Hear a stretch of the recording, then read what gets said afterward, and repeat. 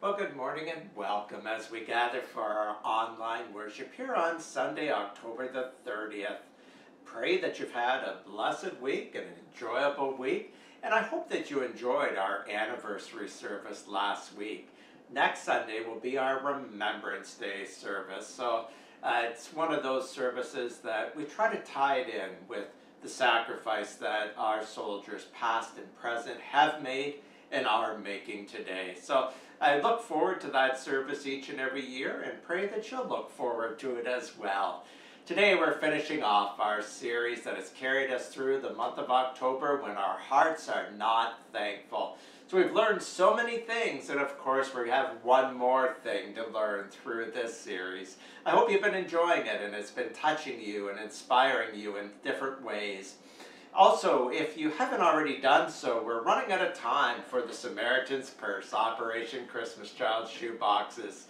So, if you haven't picked up your shoe box, we need them in by next week. So, it is time to make that decision if you are wanting one to reach out, contact us, and we can get it to you, and hopefully you can get it back in time. And also, if you're joining us next Sunday in house at our church, then we are doing our Food Bank Sunday. It's always the first Sunday of the month. So, lots going on. I hope that you are going to enjoy today's service. We're going to start off with our opening prayer. Let us pray. Heavenly Father, it is time to worship. And we are just so thankful for that because we know that you are going to be with us in this next hour or so. We're going to sing, sing songs of praises to you. We're going to pray, lifting up our prayers and our requests. We are going to listen and we are going to learn. And we are just with such joy and thanksgiving. So we just pray, God, that the best of us is given to you in this time of worship all of ourselves, all of our hearts, all of our minds, all of our devotion. We offer this prayer in Christ's name. Amen. Well, let us continue our worship with welcome to this house, followed by Holy, Holy, Holy, and our opening hymn for today.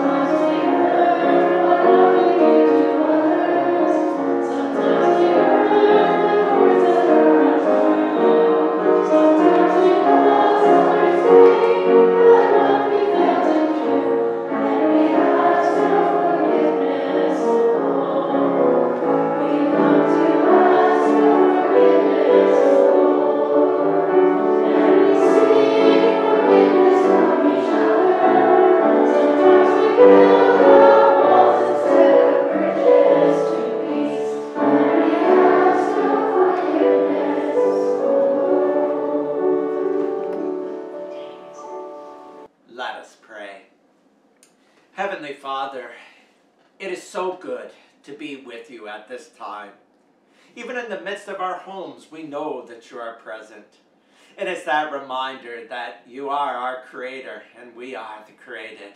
That you are God, holy and perfect, and that we are your children, not perfect, but created in your image.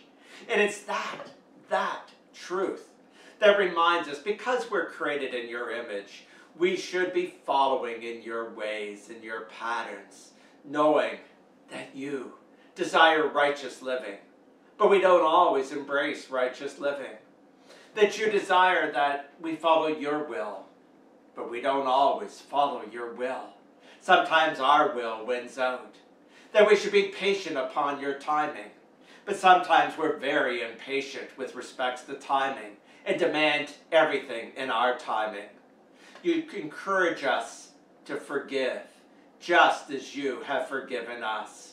But that is one we struggle with day in and day out at times, as so many things happen where people say things, people do things, and all of a sudden so many feelings come into our hearts, and we struggle. We struggle with maybe anger, with unforgiveness, with just some thoughts that should not be in Christ-like ways. So God, for any ways that we have sinned and erred through this week, we once again come to you in this time of prayer and confession and lay them before you. They're lifted up to you now. They're placed before your throne. And you are saying, my child, I forgive you. I forgive you. And those are precious words. They are blessed words. They are words that only can be spoken by you. And they are words that are a true gift to us. Help us to embrace them. Help us to hold on to them. Help us to be your thankful children, knowing that you are giving us the most thankful gift of your forgiveness. Help us to be forgiving. Help us to be loving. Help us to be embracing. We offer this prayer in Christ's name who taught each and every one of us when to pray to say, Our Father, who art in heaven, hallowed be thy name. Thy kingdom come, thy will be done on earth as it is in heaven. Give us this day our daily bread, and forgive us our trespasses, as we forgive those who trespass against us. And lead us not into temptation, but deliver us from evil. For thine is the kingdom, the power, and the glory, forever and ever. Amen.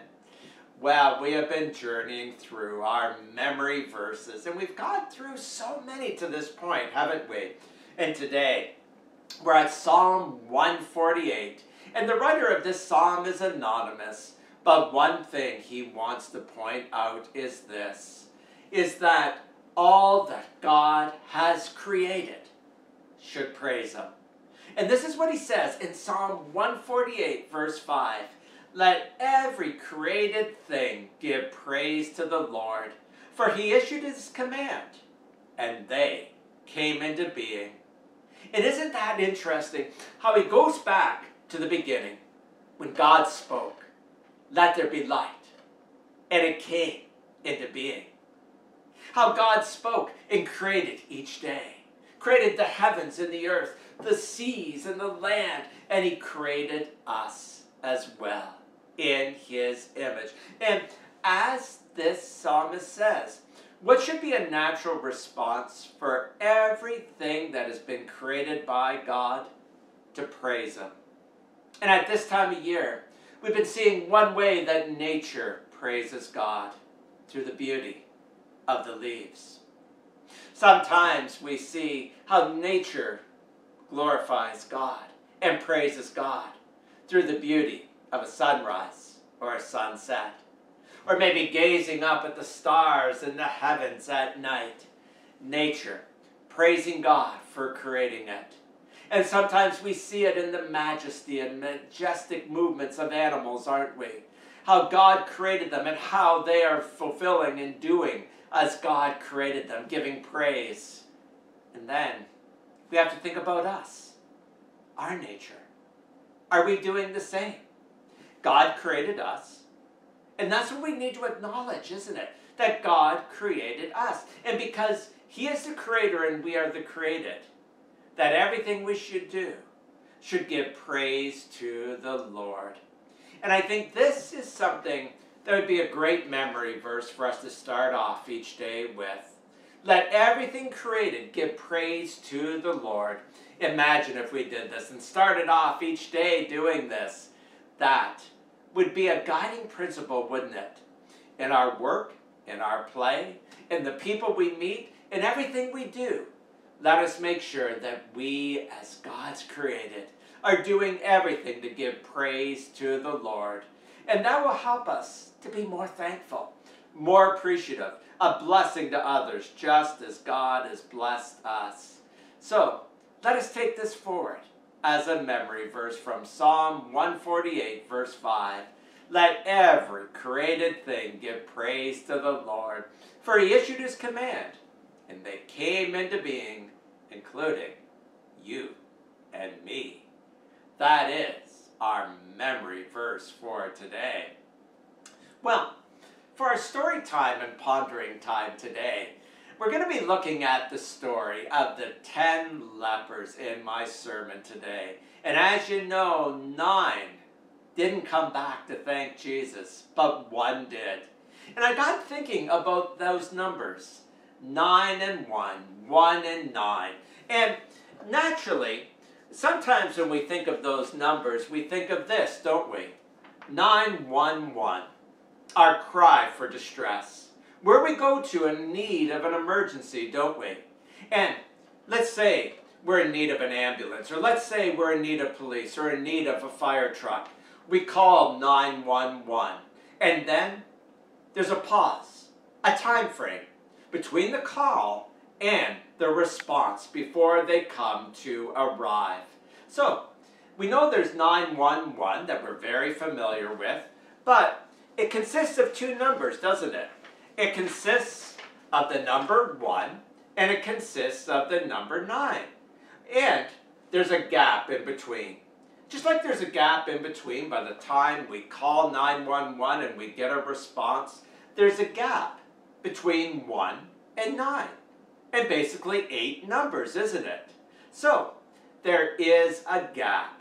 Now, let's say if we did it a bit differently, that with that gap, then we went 9 to 1. That'd be a little bit different, wouldn't we?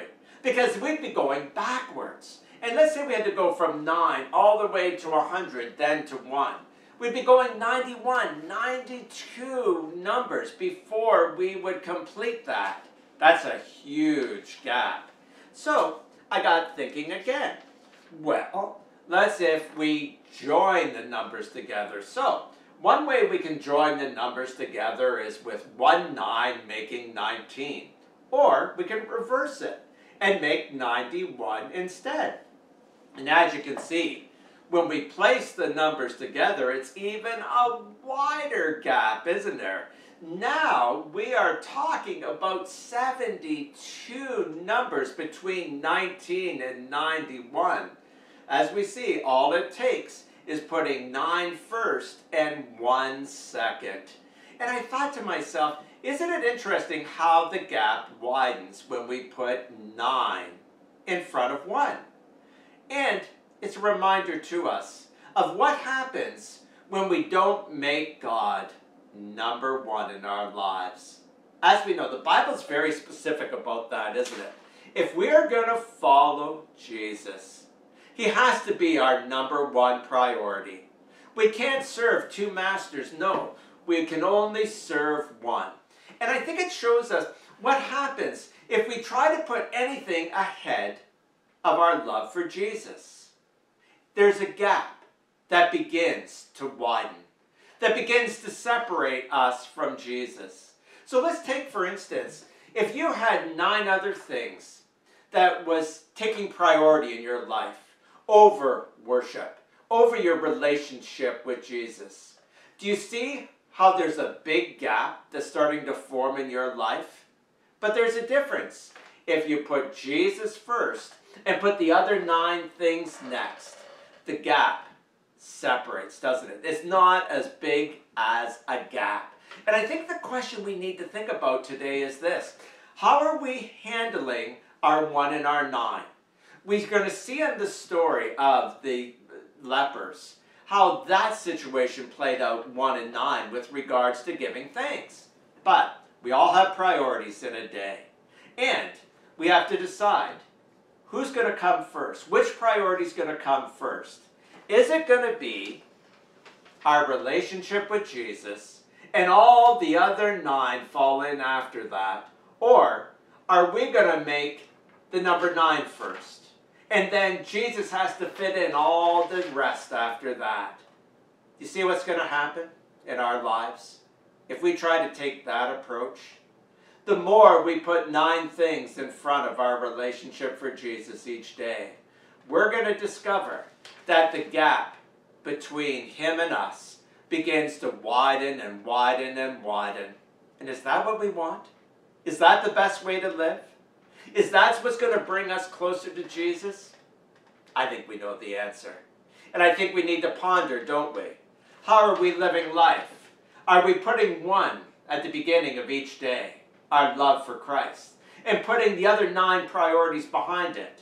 Or are we putting nine first, all the other priorities, and putting Jesus last? It makes a difference on the gap between us and Jesus. Story time, pondering time. Well, let us continue now as we sing our very next hymn.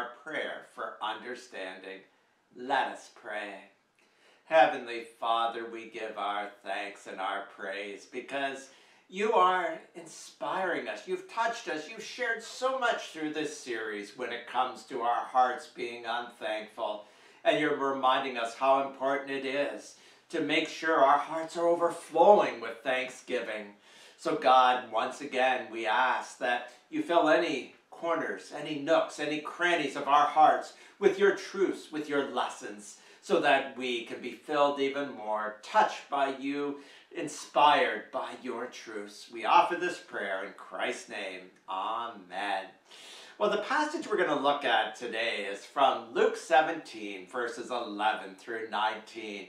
And it's the story of the ten lepers. How one day Jesus came to their village, their town, and they were on the outskirts, remember? When they saw Jesus, they cried out, Jesus, Master, have mercy upon us. And Jesus told them to go and show themselves to the priests. And on the way they were healed. And we discovered how one of them developed a thankful heart as a result. Luke 17, verses 11 to 19 is our passage today. Now, on his way to Jerusalem, Jesus traveled along the border between Samaria and Galilee. As he was going into a village, ten men who had leprosy met him. They stood at a distance and called out in a loud voice, Jesus, Master, have pity on us. When he saw them, he said, Go, show yourselves to the priests.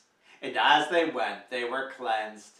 One of them, when he saw he was healed, came back praising God in a loud voice.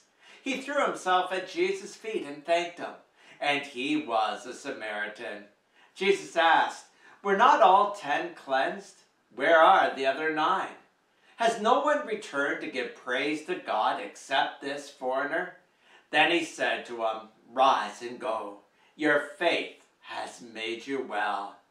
This is the word of the Lord.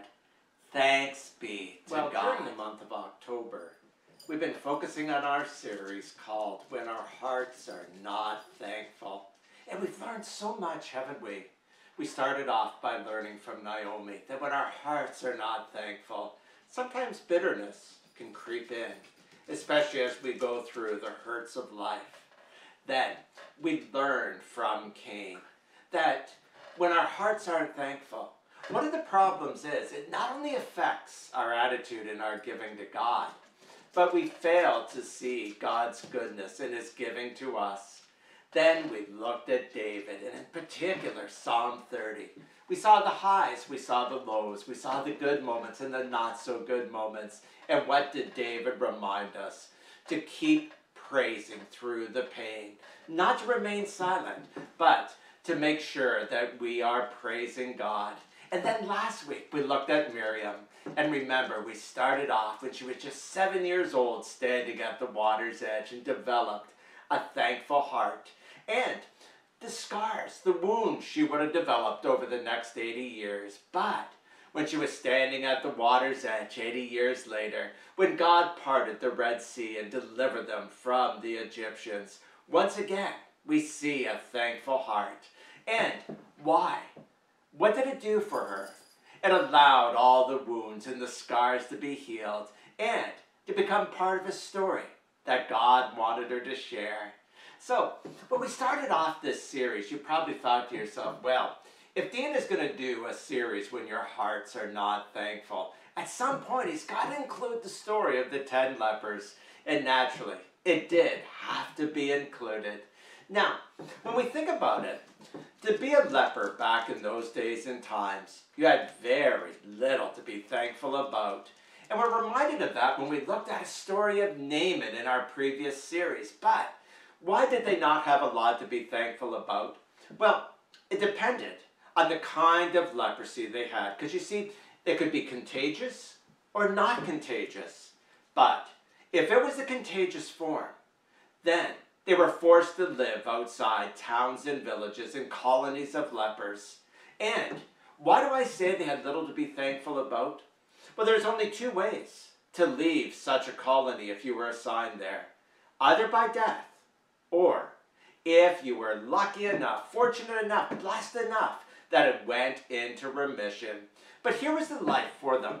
If they were ever just venturing out and about, then if somebody came upon them, they would have had to shout, unclean, unclean, so people wouldn't come into contact with them.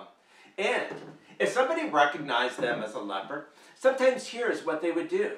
They'd pick up stones and begin to throw them at that leper to try to keep them at a safe distance. So as you can see, these lepers had very little to be thankful about, and I doubt in the beginning their hearts were thankful.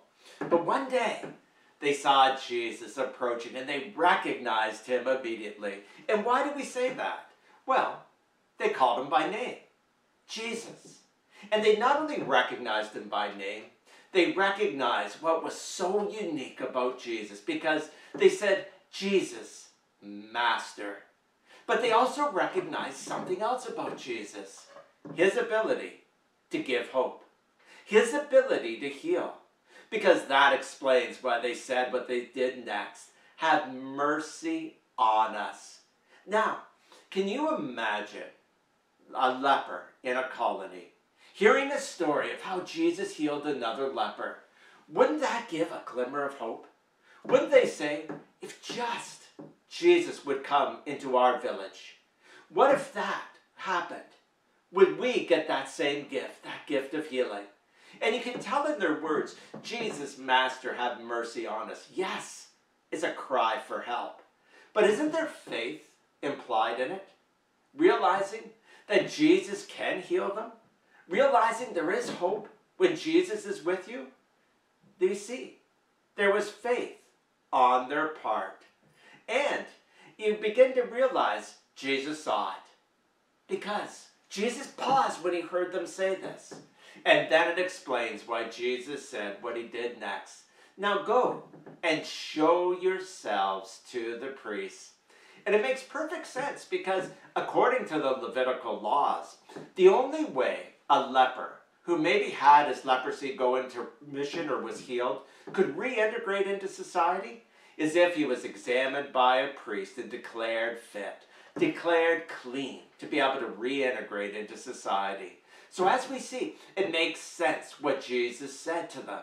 But, but, there was something he didn't say that was being implied. And what was that? It's this. I want you to walk in faith first. And then, if you show that you trust me, watch what happens. And why do I say that? Why do I say that Jesus was implying when he said to them, Go and show yourselves to the priests? To walk in faith first because were they healed when Jesus told them to go and show themselves to the priests? No. That's not how the sequence of events worked. Remember the sequence.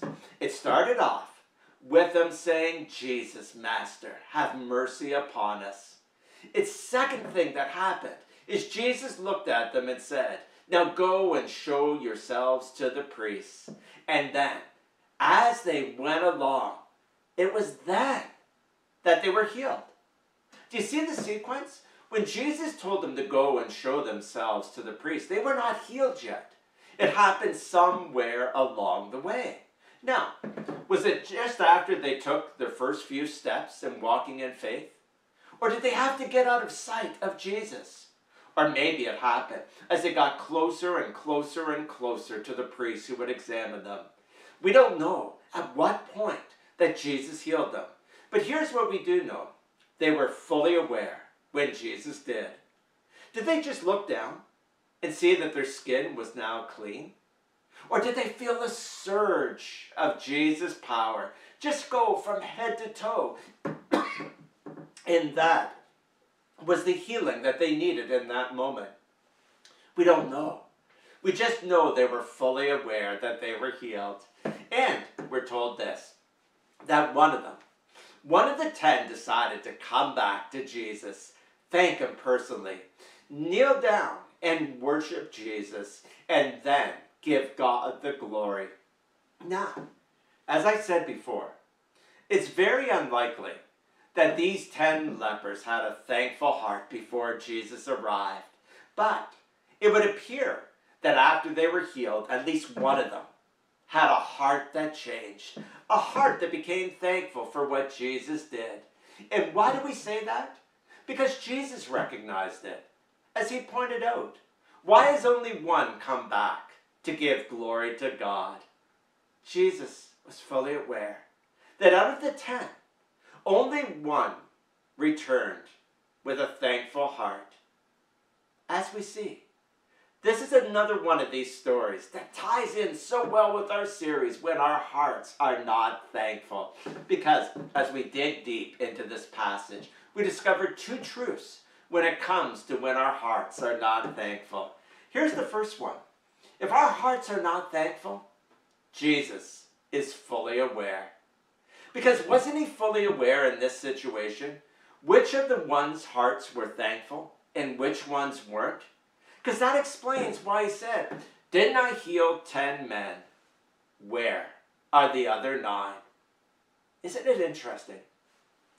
Whether we have a thankful heart or not, we experience so many blessings, so many good things from Jesus. But here's what Jesus is watching. After he's given us a blessing, after he's done something special for us, has it changed our heart? Has it moved our heart to become more thankful? And as we see, Jesus is fully aware. He knew exactly which one had a thankful heart and the other nine did not. And he's fully aware when it comes to you and I that if he does something special, something wonderful, has it moved our heart to become even more thankful? That's the first thing we need to understand when it comes to this story. Jesus is fully aware if our hearts are not thankful. That's one lesson we learn.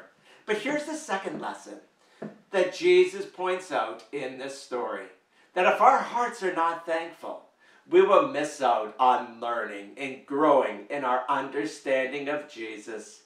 Because do you remember what Jesus said to this one leper after he returned, after he worshiped Jesus? He said to him this Stand up, go, your faith has healed you. Now, I pointed out earlier that when Jesus told them to go and show themselves to the priests, he was basically telling them to walk in faith at that moment. He didn't say it in his words, but that's what was being implied, wasn't it? Now, were they conscious of that? Or did they just go because Jesus ordered them? They were walking in faith, whether they realized it or not. But afterwards, Jesus gave a deeper insight into this one man who had a thankful heart, didn't he?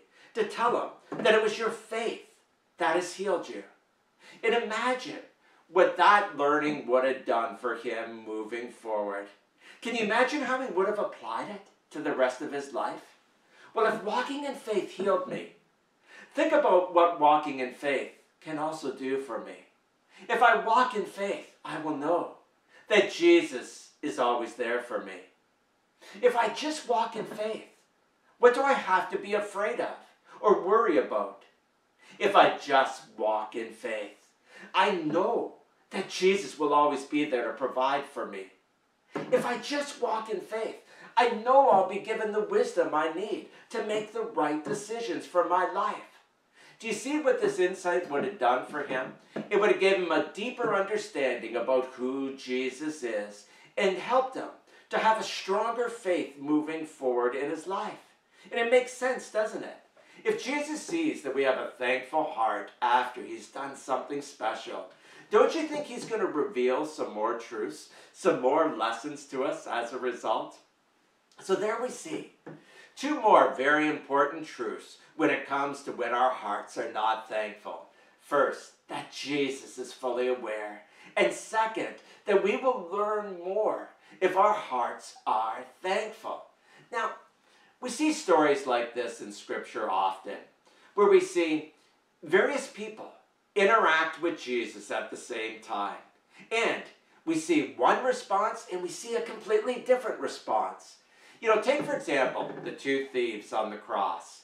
There they were, one on the right, one on the left. One made a profession of faith and the other didn't. And here we see another story that compares and contrasts reactions between people who are interacting with Jesus. Ten lepers experienced this exact same gift. All of them were given the gift of healing. But as we see, only one developed a thankful heart as a result. Now, you might be saying to yourselves, well, Dean, how do you really know that? Maybe the other nine people just said, Praise God. Or thank you, God. I'm sure they did. I'm sure they did. But as we see here, that Jesus was the one who pointed out that where were the other nine? That one's heart was changed, but the other nine's hearts weren't changed. That is what we need to understand. This is Jesus pointing this out to us. And we probably look at a story like this and say, Well, I've heard it before, Dean, and I know I'm the one. But let me ask you are you the one? Or are you really more like the other nine? And what do I mean by that? Yes, I'm sure the nine lepers who were healed said, Thank you, God. said, Praise God, thank you, this is gone from my life. But is that enough to show that we have a thankful heart? Not according to this passage, and not according to Jesus. That we just can't pay lip service to show that we have a thankful heart. That it must be backed up and reflected in our behaviors and actions too. Because look at the actions of this one leper who developed a thankful heart. He showed it by wanting to spend time with Jesus in person. He showed he had a thankful heart by wanting to kneel down and worship Jesus for who he is. He wanted to show he had a thankful heart by giving this as an opportunity to give glory to God. And he wanted to show this was a thankful heart by learning and growing in his faith as a result. So, with all that in mind, to see it's just not lip service. We need to show a thankful heart in our actions. Let me ask you these questions. When Jesus does something special for you, do you just pay lip service? Or do you go to Jesus and say, I just want to spend time with you? So you go in prayer. Or you just sit and be quiet and say, Jesus, I just want to spend time with you. Or let's say Jesus does something very special for you. Do you just say, Thank you, Jesus, lip service? Or does it make you go to worship? Make you embrace Him in worship? And just say, This is where I need to be each and every Sabbath. Or when Jesus does something good for you, do you just remain silent? Maybe say, Thank you for the moment and not give glory to God? Or do you find ways to share that story so that God is given the glory? And if Jesus does something really good for you, do you just pay lip service? Or do you take time and say, Jesus, you see this thankful heart? Help me to learn from this. Help me to grow from this so I become closer to you and I have a stronger faith. Depending how you answered those questions will really determine are you the one or are you more like the nine? And if you found out that you are more like the nine, I think it's just important, first and foremost, to acknowledge it. To say, yeah, I got to be honest. I'm the nine, I'm not the one. And secondly, I think we need to repent and say, sorry, Jesus. Sorry that I have not developed a more thankful heart because you've done such incredible things for me. And then, let's make sure we follow in the example of the one leper to make sure we just don't pay lip service, but that we develop a thankful heart and it is shown in our actions by spending more time with Jesus, by making sure we're out and worship Him Sunday after Sunday, Sabbath after Sabbath, to make sure we find those moments as we're led to give the glory to God and to make sure that we learn from every moment. Here we are at the end of this series. And after five weeks, we have learned so much, haven't we? Make sure that if our hearts are not thankful, to realize that bitterness will sit in. That if our hearts are not thankful, that we're going to realize that it's going to affect our attitude towards giving to God and our ability to see God giving to us. To see from David how important it is to praise through the pain, otherwise, our hearts will remain unthankful to understand from Miriam that if we stand at the water's edge and God has done something great to develop a thankful heart, to carry it forward in our lives and realize that God will heal our wounds, He'll heal our scars, and they'll become a part of a story to share. And finally, today, to realize we just cannot only pay lip service. Let's make sure that we show how much our hearts are thankful by showing it in our actions and our behaviors. One thing we do know is Jesus is fully aware if our hearts are thankful. And if they're not, then one day Jesus may just say to us, Where have you been? Haven't I done for you what I've done for others? They've come back, they've shown a thankful heart. Why haven't you? Tough words to hear. Better to respond now than to wait until Jesus gives those words to you or I. God bless and amen.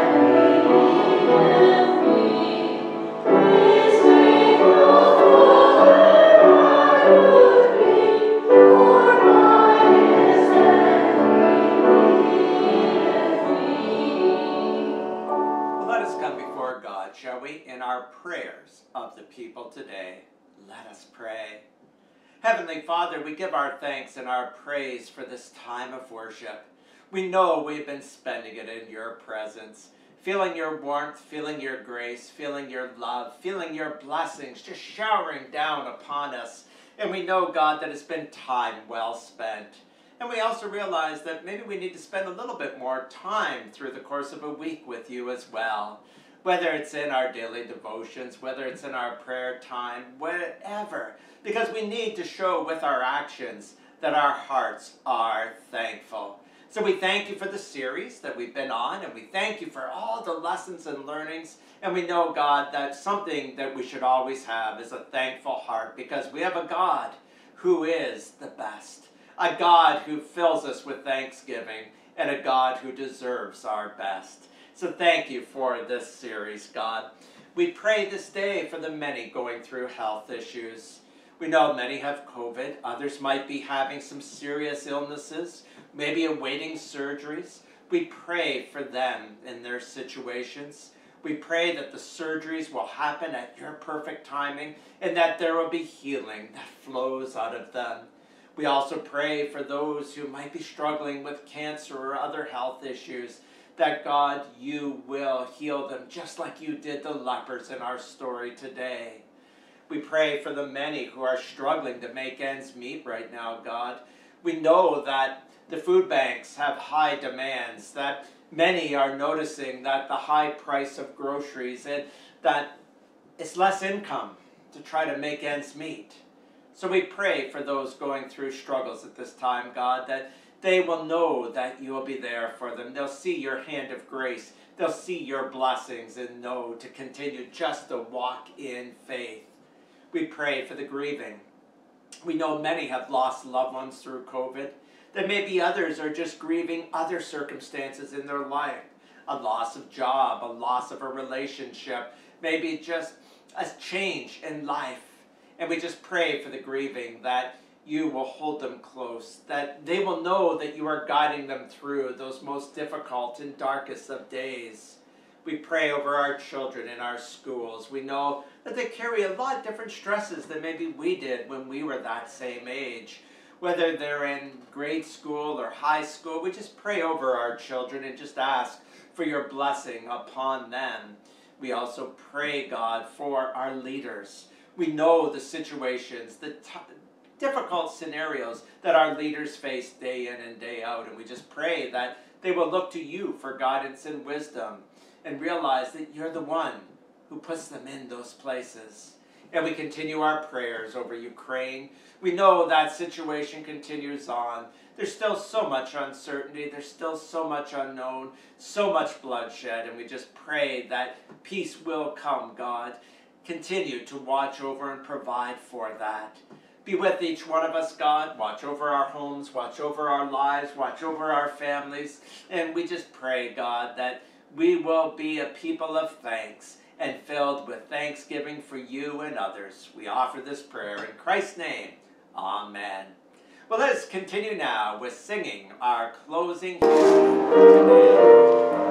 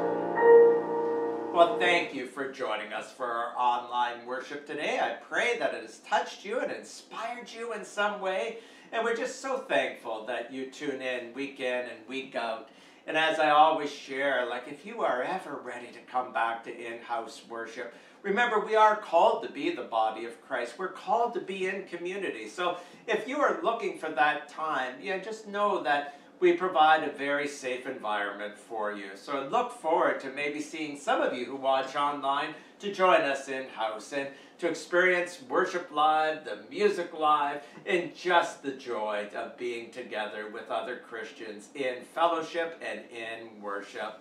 Well, we're going to continue on a new series next week, and it's looking at our tomorrows. And it's very different from the series we looked back in June of What's Next.